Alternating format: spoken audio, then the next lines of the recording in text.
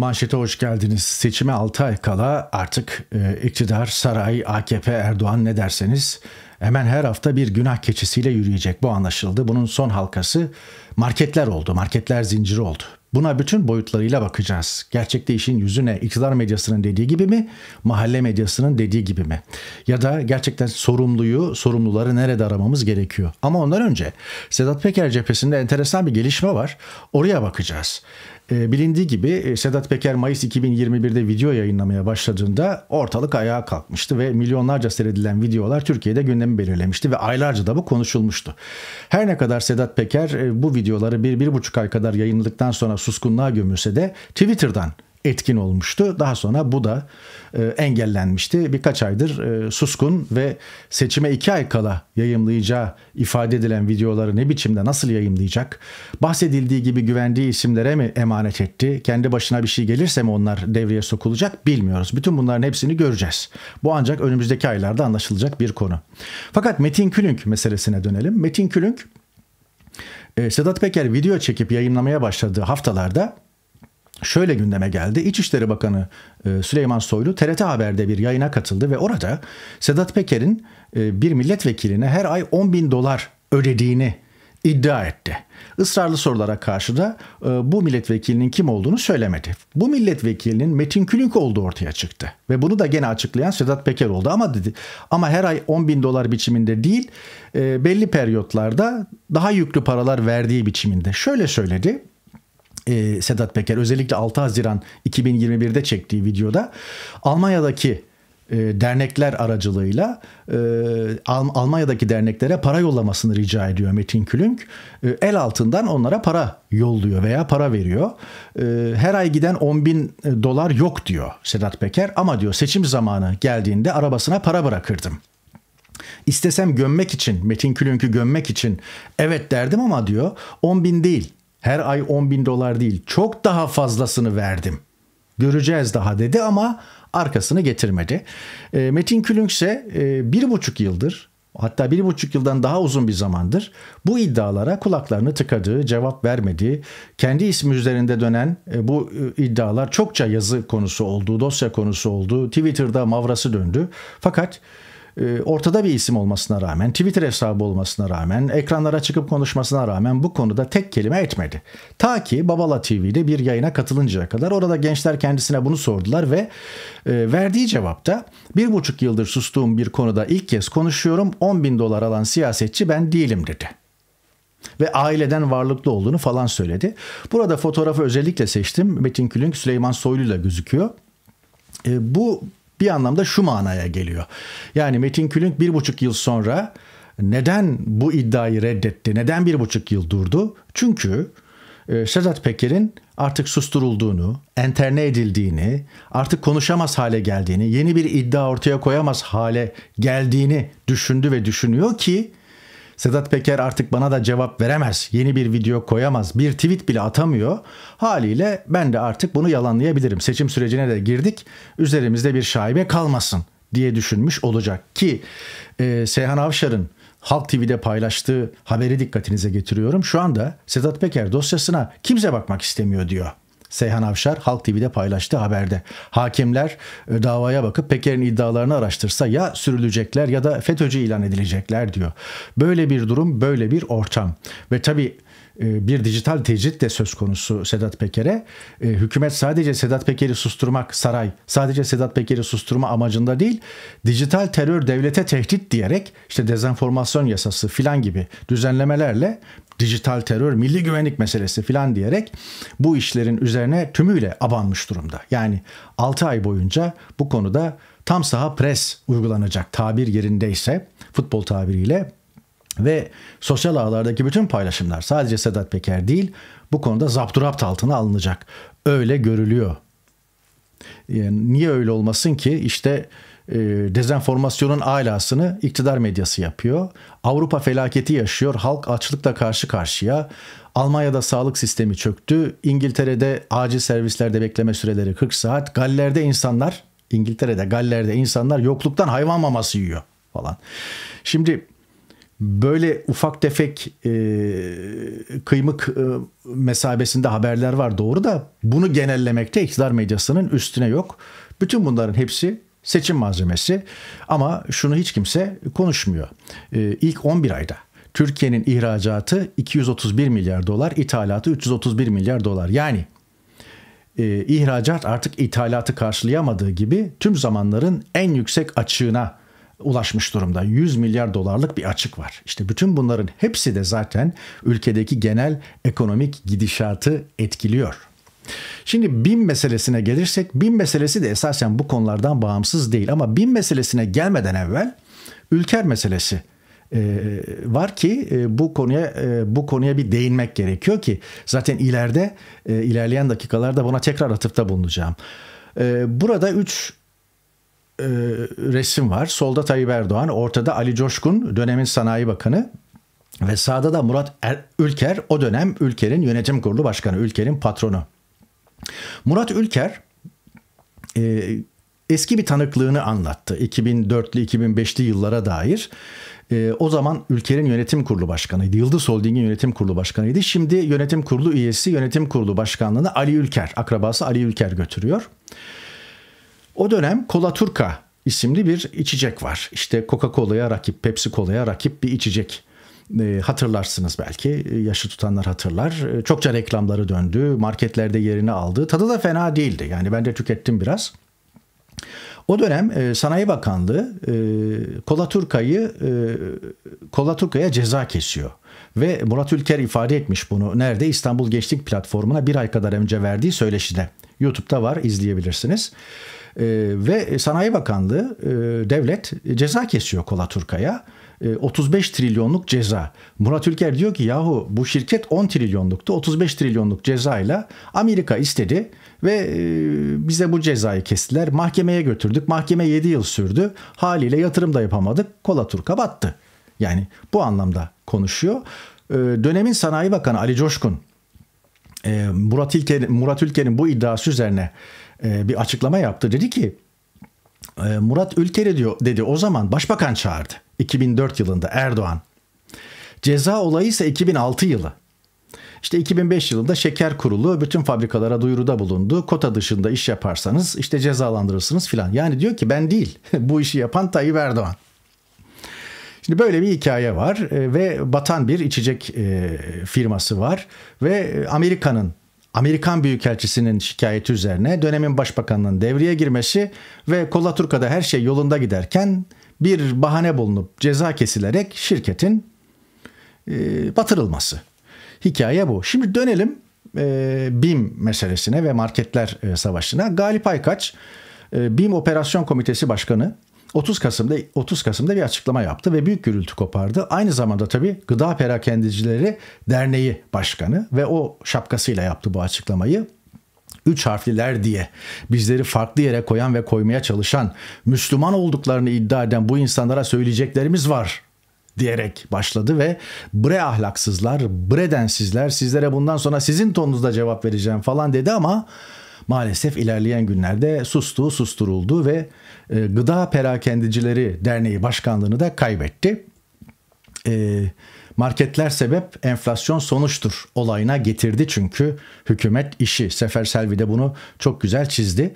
O arada şok marketler zincirinin e, gıda perakendicilerinin başında artık bu şahıs kalmamalı falan yönündeki açıklamasıyla da ilgisi yok filan dedi açıklamasında ama Galip Aykaç e, koltuğuna veda etmek durumunda kaldı. Koltuğuna veda etmesinin nedeni de e, aldığı tehditler. Burada Kürşat Yılmaz görülüyor. E, Devlet Bahçeli'nin e, cezaevinden çıkardığı e, ülkücü babalardan biri Alaaddin Çakıcı gibi ve defaatle ziyaret etti. Kürşat Yılmaz e, Devlet Bahçeli'yi ve her defasında da işte hediyeler vesaire makamından paylaştığı fotoğraflarda gerek MHP'nin kurumsal hesaplarından gerekse Kürşat Yılmaz'ın Twitter hesabından paylaşıldı. Ve Kürşat Yılmaz tarafından Galip Aykaç tehdit edildi. Ve e, tehdit de yani ölüm tehdidi e, uzun bir açıklama yaptı. Ve e, bu açıklamasında diyor ki işte e, BİM İcra Kurulu üyesi Galip Aykaç e, denen şahıs liderimizin açıklamalarını üstüne alıp çıkmış haddini aşan üslup tavır ve tarzda açıklamalar yapmıştır filan E, ve diyor ki kim 5 numaralı tweet? Kime kimlere hangi güce güveniyorsanız bütün güvendiğiniz güçlerle birlikte hepinize diyorum tuttuğunuz köşe, köşe başları mezarınız olur. Yani bu ölüm tehdidi. Bunun üzerine de e, Galip Aykaç e, geri adım attı ve e, Devlet Bahçeli'nin hassasiyet gösterdiğini üzülerek izledim. Maksadım asla kendisini kırmak değildi kusura bakmasınlar falan deyip Gıda Perakendicileri Derneği'nin başkanlığından ayrıldı. O arada tabii şok bir açıklama yapmıştı. Şok e, Ülker grubunun 3 e, harfli e, ucuz marketler zinciri. Orada da e, işte Sayın Galip Aktaş işte efendim yaptığı açıklamalar siyasidir falan dedi. Fakat Şok'un açıklamasında yani Ülker grubunun açıklamasında son zamanlarda farklı mecralarda gerçekleştirilen zincir marketlere yönelik suçlamaların doğru olmadığı, özellikle zincir marketlerin fiyat artışlarının müsebbibi olmadığı aşikardır falan diyerek yani enflasyonun sebebi olarak zincir marketlerin gösterilmesi doğru değildir gibi satırlar da var. Ama Galip Aykaç'ın üslubundan e, rahatsızlık var. Yani sen nasıl işte hükümete e, bu üslupla e, şey yaparsın, yüklenirsin. Bak işte efendim ocağımıza incir ağacı mı dikeceksin falan mealinde bir hikaye. Ondan dolayı e, Galip Aykaç ölüm tehditlerinden sonra bu işi e, bırakmak durumunda kaldı. En azından gıda perakendicileri. BİM'in başına ne gelecek, ne olacak ona birazdan bakacağız. E, Milliyetçi Hareket Partisi Genel Başkanı Devlet Bahçeli e, Türkiye Büyük Millet Meclisi'nde görülüyor. Bu dün tespit edilmiş bir kare. Hemen yanında Erkan Akçay oturuyor. Erkan Akçay e, yine o da yüksek tonda e, e, Devlet Bahçeli'ye yaslanarak bir açıklama yaptı ve açıklamasının sonunda da fahiş fiyat uygulamaya devam etmesi durumunda bu market zincirleri, firmalar tamamen kapatılmalı. Bu sadece market zincirlerini de kastetmiyor. Bütün piyasayı kastediyor. Firma sahibine ceza yediği sektörde faaliyet yasağı getirilmeli. Yani kapatalım sahiplerine de yasak getirelim falan. Yani içeri, bir tek içeri atalım dememiş. O da herhalde olur yakında öyle görülüyor. Tabi orada Ekmek Üreticileri Federasyonu Başkanı'nın lafları da havada kaldı. Yani onun bir şey demesine gerek kalmadı ki. Adama bakar mısınız tam bir mafya devleti. Galip Aykaç'ı kastederek diyor ki yavrum seni o mağazalarınla beraber alır aldığın yere sokarız falan. Affedersiniz yani. Türkiye'de köşe başlarını tutmuş insanların üslubu bu. Ama buna gerek kalmadı. Tabii o arada BİM, e, BİM'in bir anlamda çırpınışı devam ediyor. Gazetelere verdiği tam sayfa ilanda işte 6 Aralık sol üst köşeye dikkat 6 Aralık salıdan itibaren içeriğini ve kalitesini karşılaştırınız ilanları var. Burada önceki fiyatlar, yeni fiyatlar, e, son fiyatları filan koymuş. Fiyatlar esasen baya makul görülüyor ama gel gör ki bakalım bu ilan e, gazetelere verilen bu tam sayfa ilan BİM'i kurtaracak mı bilmiyoruz. Çünkü BİM'e saldırılar başladı. Ve e, mesela bu Burdur'dan tespit edilmiş bir kare. BİM marketin önündeki billboard'a Devlet Bahçeli'nin lafları yazılmış ve BİM marketler zincirini e, terörle irtibatlandıran, terörle eş tutan bir e, demecini alıp buraya koymuşlar. Şimdi vatandaş bunu da okuyor. Ondan sonra BİM'e girip alışveriş yapacak. Yani bir süre sonra vatandaş şöyle düşünüyor yani yani ben oraya girip alışveriş yaparsam acaba e, terörle iltisaktan başıma bir şey gelir mi? Öyle bir Türkiye var şu anda yani. Durum bu. Bülent Çelik'in gazete penceredeki karikatürü de enteresan.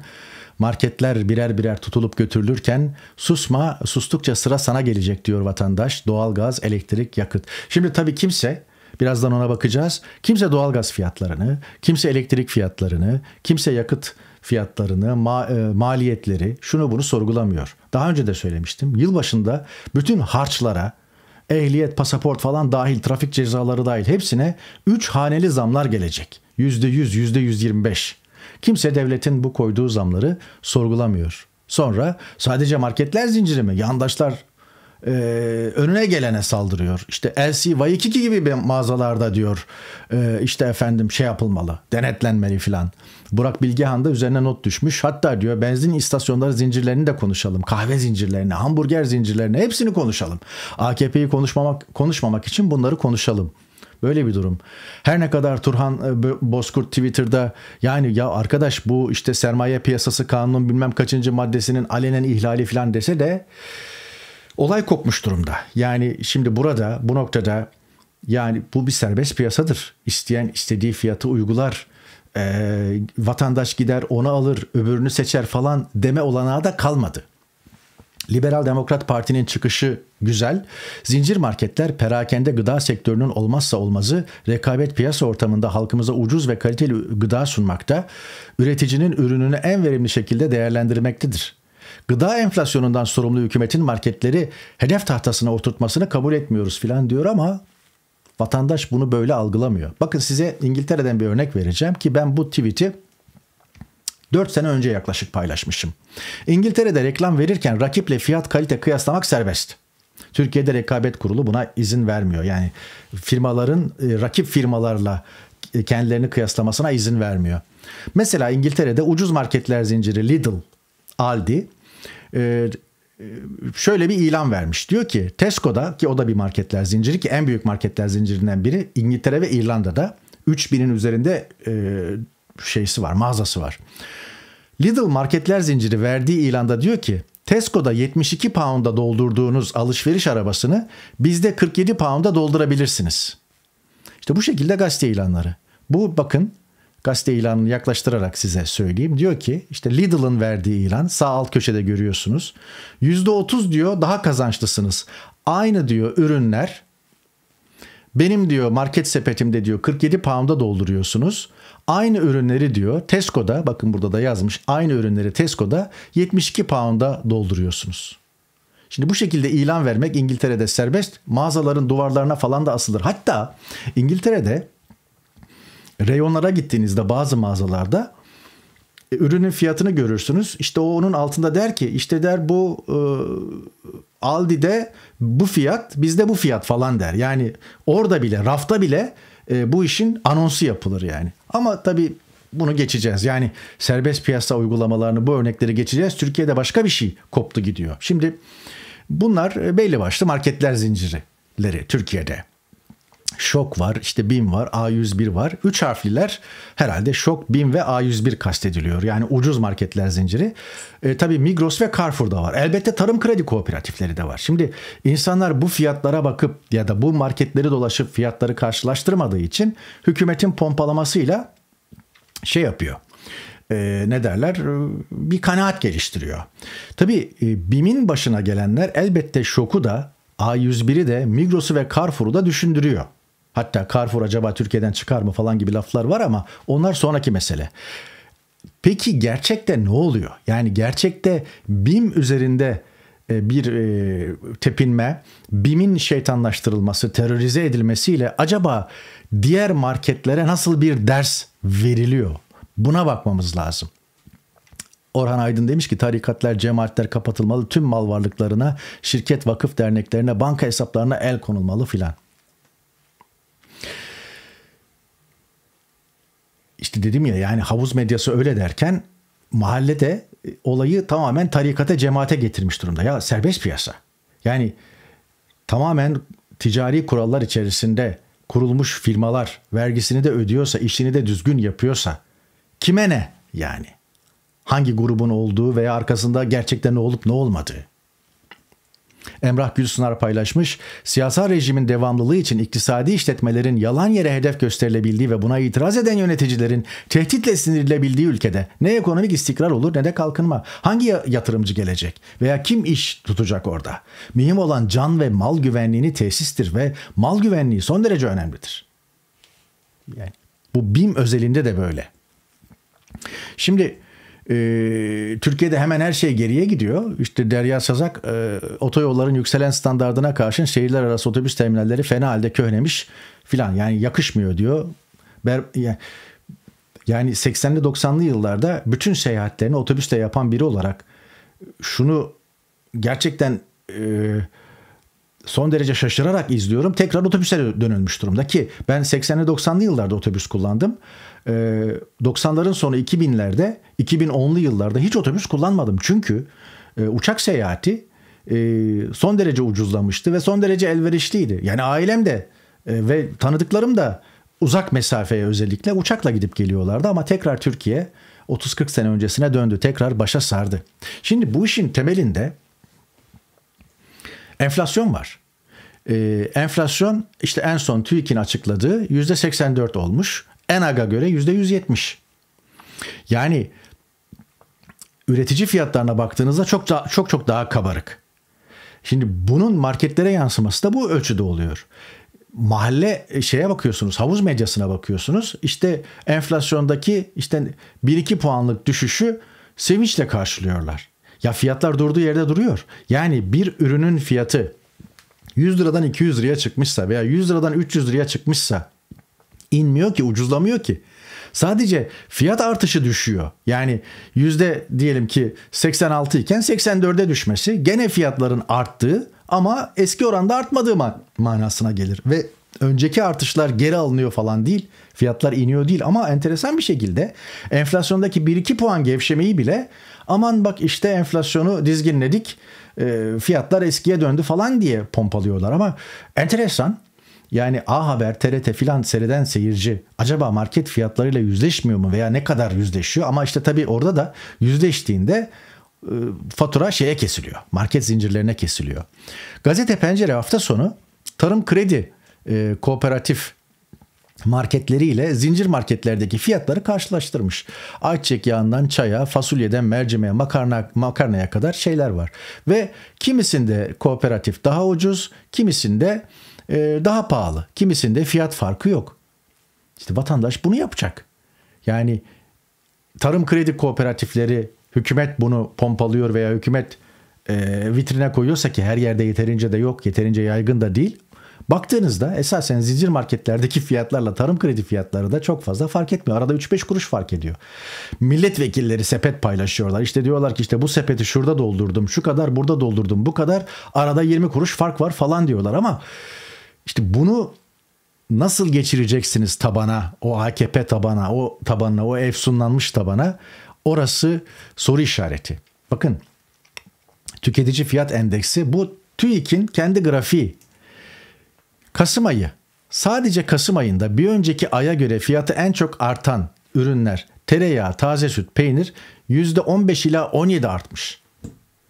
Ki bunlar temel ihtiyaç maddeleri, temel gıda maddeleri peynir, taze süt, tereyağı %15 ila 17 artmış. Ne yapacak? Marketler zinciri bu artışı yansıtmayacak mı? Zararına mı satsın? Yani muhakkak e, zararına satış olmasa bile en azından maliyetine satışı falan düşünüyorlardır şu anda. Yani ya da en azından önümüzdeki 6 ay boyunca biz maliyetine satalım, kar da etmeyelim. Acaba bize yönelik tepkileri dizginleyebilir miyiz? Hayır, dizginleyemezsiniz. Bakın gerçeği Mehmet Muş, Ticaret Bakanı Hande Fırat'a 2 Aralık Cuma günü anlatmış. Fahiş fiyatlara yeni önlem anlık takip devreye giriyor. Başlığıyla verilmiş kocaman bir köşede başlık ama en dibinde şu satırlar var ve dikkat çekici. Ürünler ne zaman ucuzlayacak sorusuna bakanın cevabı. Gerçekte zincir marketler mi? Yoksa başka mı? Bakın bakan aynen şunu söylüyor. Ticaret Bakanı Mehmet Muş. Son dönemde emtia fiyatlarında yaşanan artışların tarımsal ürünlerin maliyetleri artırdığını gözlemliyoruz. Hükümetimizin enflasyonla etkin mücadele çalışmaları sonucunda enflasyonda gözlemlenecek olumlu gelişmenin perakende fiyatlarına da yansımasını bekliyoruz. Yani diyor ki yani emtia fiyatlarındaki artış, girdilerdeki artıştan dolayı bu fiyatlar şişti ve diyor bununla mücadele edeceğiz ve bu pera, bunu bunun perakende fiyatlarına da yansıtacağız diyor. Yansıması için hükümetimiz gayret gösterecek filan diyor. Esasen adam itiraf etmiş. Bakan. Yani sorumlu marketler zinciri değil diyor. Tarımsal girdilerdeki artış. Fakat kime ne anlatıyorsun? Şimdi olayın şeysi şu. Birazdan ee, asıl tespit cümlesini, asıl nihai cümleyi e, kuracağım ama önce buna bakmanız gerekiyor. Türkiye'de şu anda yaşanan Macaristan'da geçtiğimiz yıl, geçtiğimiz yıl yaşananın ilk evresi. Nisan 2022'de yani bundan 6-7 ay önce Macaristan'da bir seçim oldu.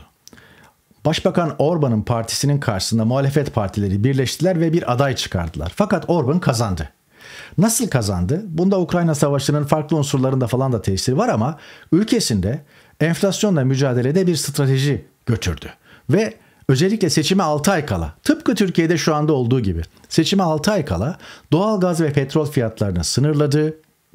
Ne bileyim emeklilere 13. maaş e, sözü verdi. Kamu çalışanlarına enflasyon üzerinde zam yaptı.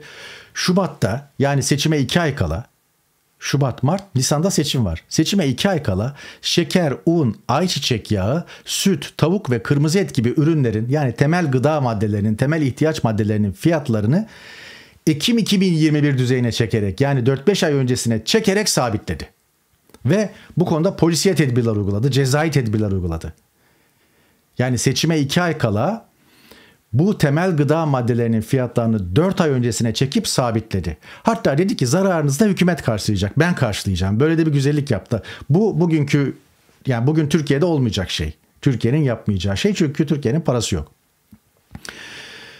Fakat akabinde de bütçe orta uzun vadede bundan olumsuz etkilenmesin diye fiyat sınırlamasını geçici tuttu. Ne zamana kadar? Seçim sonrasına kadar.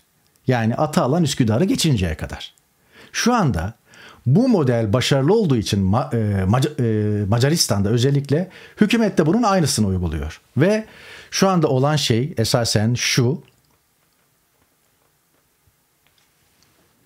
Bu marketler zinciri başka marketler zincirleri de olabilir. Baş, e, bunu elbette farklı işte giyim kuşam mağazalarından alışveriş merkezlerindeki bütün mağazalara, bütün dükkanlara falan çeşitlendirebilirsiniz. Bakkal dükkanlarına kadar indirebilirsiniz. Burada olan BİM'le savaşarak, BİM üzerinden bir şeytanlaştırma, terörize faaliyeti güderek, korkutma yaparak diğer marketleri de hizaya getirmek. Onun başına gelen sizin de başınıza gelir demek. Ve nihai amaç sıradaki adım fiyat sabitleme. Önümüzdeki aylarda bunu göreceğiz, birlikte yaşayacağız. Ek ilave tedbirlerle beraber asgari ücret zammı, emeklide yaşa takılanlar filan bir, bir sürü şeyler.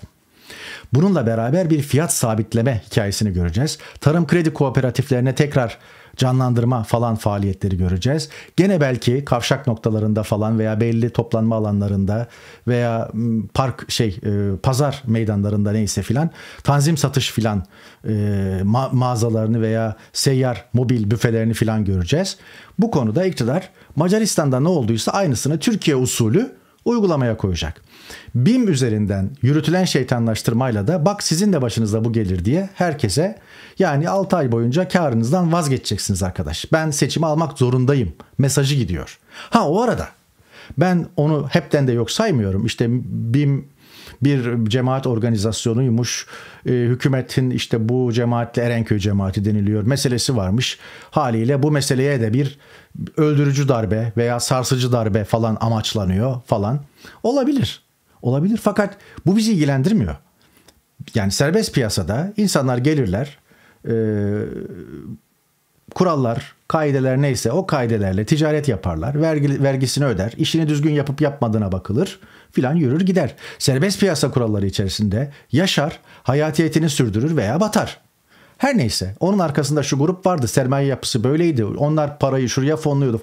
Yani bu konuda eğer yasal anlamda suç varsa bunun takibini yapar yürürsünüz. Fakat kamuoyunda e, belli konulara böyle at gözlüğüyle bakarak işte filan herkes yani Migros'un arkasında da şu grup var dersin. Carrefour'da da şöyle bir lobi var dersin. Bunun içinden çıkılmaz.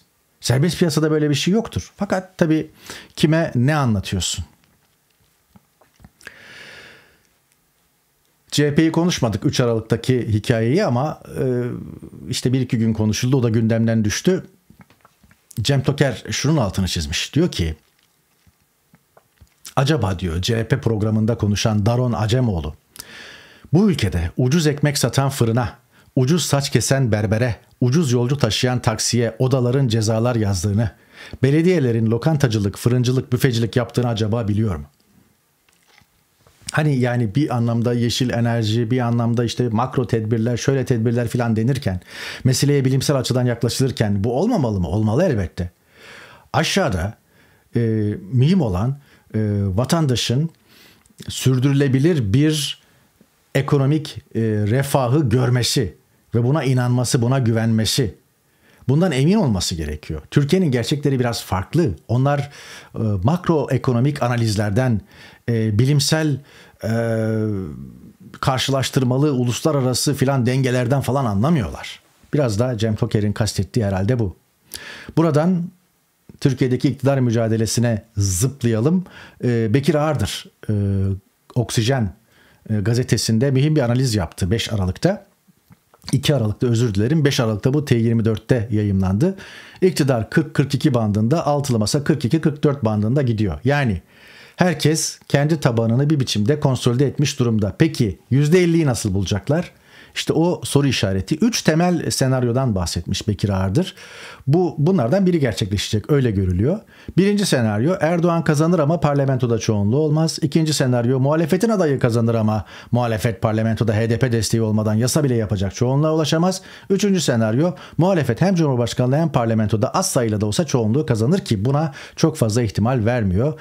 İlk iki e, senaryo daha ağırlık kazanıyor demiş. Bu senaryolardan hatta ikincinin gerçekleşmesi birinciye göre bugünden bakarak bir adım daha yüksek ihtimal demiş. Yani ikincinin gerçekleşmesinde e, hikaye şu. Muhalefetin adayı kazanır ama muhalefet parlamentoda HDP desteği olmadan yasa bile yapacak çoğunluğa ulaşamaz. Birinci senaryo Erdoğan kazanır ama parlamentoda çoğunluğu bulamaz. Açıkçası Bekir Ağırdır ikinci senaryoya biraz e, yoğunlaşmış ama birinci senaryoda çok fazla gözden uzak tutulacak senaryo değil. Üçüncü senaryoya ise pek fazla ihtimal verilmiyor. O arada Devlet Bahçeli'nin meclis kulisindeki açıklamasının altına çizmek gerekiyor. Sınıf işaret, e, sınıf arkadaşını işaret etmiş. Devlet Bahçeli Cumhurbaşkanı adayı olarak, altılı masanın Cumhurbaşkanı adayı olarak e, sınıf arkadaşı Gazi İktisadi İdari Bilimler'den e, Kemal Kılıçdaroğlu. E, belli ki Erdoğan ve medyası gibi Devlet Bahçeli de e, Millet İttifakı'nın adayı olarak Kemal Kılıçdaroğlu'nu görmek istiyor. Bütün bunlardan sonra esasen Doğu Ergil'in şu altın e, niteliğinde tavsiyesi, tespiti, analiziyle e, kapatıyoruz manşeti. O da şu. Diyor ki Doğu Ergil Hoca 82 yaşında mühim bir duayen, Türkiye'nin yetiştirdiği mühim entelektüellerden biri, mühim bir siyaset bilimci. Özellikle Kürt sorunu raporuyla ilgili Kürt sorunu raporunu ilk kaleme alan akademisyenlerden biri. Bundan yaklaşık 40 sene önce SHP için hazırlanmıştı galiba o rapor. 35 sene önce filan. Her neyse diyor ki Doğu Ergil, Türkiye'de demokrasi açığının en büyük nedeni demokratların sayısının az olmasıdır. Demokratı kıt bir demokrasi. Çoğunluğun üzerini kazıyınca altından güce ve güçlüye tapan, fetih yapma kapasitesinin büyüklük olduğuna inanan, kendine benzemeyenlere kızgın bir yığın çıkar diyor. Ne kadar doğru bir laf.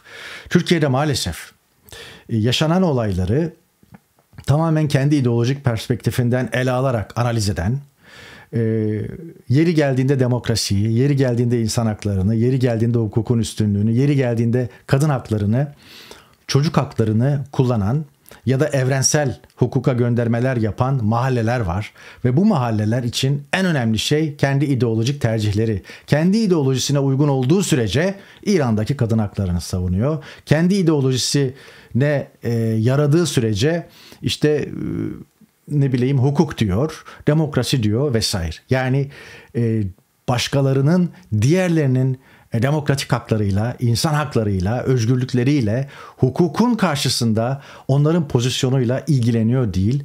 Doğu Ergil hocanın altını çizdiği konu bu. Bu market savaşlarına ve seçime 6 ay kala şu siyasi konjonktürde yaşanan ve yaşanacaklara biraz da bu zaviyeden bakmak icap ediyor. Diyoruz ve bugünkü manşeti de böylelikle noktalıyoruz. Yayını beğendiyseniz lütfen beğen tuşuna basın son günlerde, son dönemde özellikle yayınları ulaşamadıkları, yayınları YouTube'a girdikleri halde göremediklerini söyleyen seyircilerimiz var. Bu son birkaç ayda ortaya çıkan bir durum. Birkaç ay öncesine kadar bu yoktu. Yani abone olduğum linke giriyorum, abone olduğum kanalların linkine giriyorum. Orada bile videolarınızı göremiyorum diyenler var. E, YouTube e, yayından 10-12 saat sonra oraya koyuyor olabilir. O, o, koyuyor olabiliyor veya işte önerilen videolar arasına 10-12 saat sonra düşürüyor olabiliyor. Algoritmalarda çok farklı oynamalar var özellikle son aylarda. Bu Ankara kaynaklı mı değil mi bilmiyoruz. Ama yapacağınız şey basit. Ben Twitter'a mutlaka her yayınımın linkini koyuyorum. Twitter'dan en azından o linki tıklayarak yayınlara ulaşabilirsiniz. Twitter'ım yok diyorsanız YouTube'da yapacağınız şey çok basit. Bunun bir izlemesi takibi de yok. Abone olacaksınız kanala ve bildirimleri açacaksınız. Ve e, yayınlarımız YouTube'a konduğu anda telefonunuza, cihazınıza bildirim olarak geliyor ve o bildirimi tıkladığınızda da yayını izlemeye başlıyorsunuz. Başka yolu yok. Başka yolu yok. Beğenerek, paylaşarak da e, bu yayının görünür olması, e, bu yayını görünür kılmak tümüyle sizin elinizde. Başkasının değil. Bunun için para pul, e, sent, dolar, pound, euro, TL harcamakta gerekmiyor. Çok basit bir işlem. Bir yayını daha böylelikle noktalıyoruz. Geçen haftadan itibaren her hafta salı ve cuma günleri karşınızdayım. Bir süre böyle devam edeceğiz. Ani bir gelişme, ekstra bir gündem söz konusu olursa elbette e, ekstra bir yayınla e, onu da irdelemeye, haber vermeye, e, değerlendirmeye çalışacağız. Bir sonraki yayında görüşmek umuduyla efendim. Hoşçakalın.